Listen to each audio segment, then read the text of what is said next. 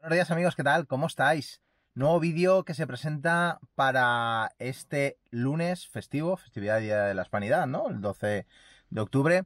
Y que os quería hablar rápidamente de dos novedades que se presentan de Tesla. Estoy intentando satisfacer un poco a los eh, fans de Tesla que se han quejado tanto últimamente. Eh, y la verdad es que últimamente las pocas novedades que están habiendo una, os hablaré mañana ya martes del camión de hidrógeno de Toyota, también del camión de hidrógeno de Hyundai, que ya se están empezando a entregar las unidades en Europa. Y eh, hoy os quería hablar de Tesla. ¿Por qué? Pues porque ya se han desvelado varios detalles de la renovación de Tesla en su diseño del interior del Tesla Model 3. No se sabe si esto se va a producir únicamente en la factoría de Berlín, pero los rumores indican que ya se va a empezar a aplicar antes de final de año la factoría de Fremont en Estados Unidos. Por lo tanto, las unidades que se produzcan incluso antes de que la factoría de Berlín esté operativa, en principio ya eh, se podrán ver. ¿Qué va a cambiar? Bueno, se ha visto y se ha filtrado una imagen de la consola central, una consola central que muchos propietarios de Tesla Model 3 eh, se quejaban de que era demasiado brillante. Era de un, de un negro piano y al ser de un negro piano producía mucho, eh, muchos reflejos del sol.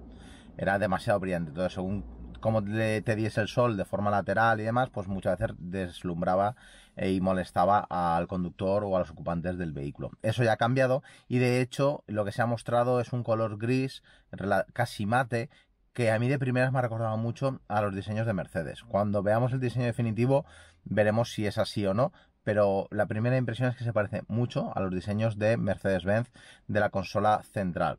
Eh, pero mm, como tampoco se ha mostrado muchísimo, tampoco lo podemos asegurar. Otra de las cosas que parecen confirmadas que vamos a ver es rediseño de la pantalla central y ojalá también del tacómetro. Ya sabéis que el Tesla Model 3 solo lleva la, pantalla central y ahí lleva el tacómetro integrado, donde se ve la velocidad, si estás utilizando los intermitentes, la velocidad máxima de la vía, todo ese tipo de información que suele ir detrás del volante. Y parece que igual podría sufrir un rediseño. Mi carta a los Reyes Magos sería que ese rediseño incluyese el poner como lleva el ID3 la pantalla adherida al volante. Porque si eso fuera así, sería una maravilla que la pantalla del, del ID3 para las cosas básicas se aplicara en el Tesla Model 3 y tuviéramos mucha más información sin tener que desviar tanto la mirada. También es cierto que hay muchos dueños de Tesla Model 3 que luego dicen que se acostumbran rápido, pero también hay algunos que dicen que no se acaban de acostumbrar. Así que aunque la mayoría se acostumbran, el cambio es tan radical que quizás Tesla haya decidido también hacer unas pequeñas modificaciones y ajustar que esa pantalla siga siendo igual de grande, siga ofreciendo toda esa información, pero tengamos una información relativamente resumida siempre al volante y no detrás, sino prácticamente adherida al volante, como hace la gente de, de Volkswagen con el ID3, que me parece una de las mejores soluciones ahora mismo de tacómetro adherido al volante más que tacómetro detrás del volante. Me gusta más incluso que el del RAC4 porque es más fácil de ver, nunca lo tapa, da igual la postura que colocas del volante. Bueno, ya lo conté en el vídeo de, del ID3. Otra de las cosas que parece que vamos a tener es nuevos colores para el, el, el Tesla Model 3. Parece que va a haber más variabilidad de colores. Desaparecen los cromados exteriores. Parece que van a desaparecer los cromados exteriores. Eh, porque mucha gente se quejaba y tenían que pagar un extra por quitar los cromados, o sea que parece que eso también va a sufrir un cambio.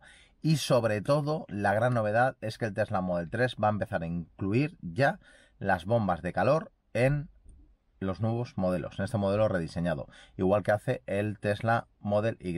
¿Qué significa eso? Pues que la gestión y el acondicionamiento de las baterías va a ser mucho mejor. En caso de ambientes fríos van a poder precalentar mejor las baterías y también van a poder ser refrigeradas de forma más óptima al fin y al cabo lo que hace el Tesla Model Y, pero que en el Tesla Model 3 no había sido incorporado todavía. Pues parece ser que sí, que las bombas ya están pedidas, ya están en camino y que Tesla va a empezar a implementarlas muy próximamente, en los próximos eh, meses. Así que, bueno, pinta bastante bien de que vamos a empezar a tener novedades bastante relevantes y bastante interesantes del Tesla Model 3. A mí los cromados, la verdad es que me, me parece lógico. Mucha gente no le gustan los cromados exteriores.